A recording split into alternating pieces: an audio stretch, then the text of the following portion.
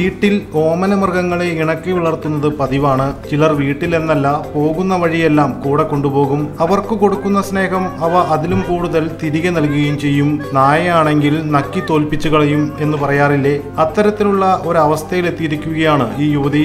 ഓമന നായകളുമായി കാറിൽ യാത്രക്കിറങ്ങിയതാണ് യുവതി. കാറിനുള്ളിൽ കിടന്ന് നായകൾ കാട്ടുന്ന ഈ സ്നേഹപ്രകടനം കണ്ടാൽ അതിരുവിട്ടോ എന്ന് തോന്നിപ്പോകും. യുവതിയെ തലങ്ങും വിലങ്ങും ഉമ്മ വെച്ചും നക്കിയും സ്നേഹം കൊണ്ട് പൊതിയുകയാണ് ഈ നായകൾ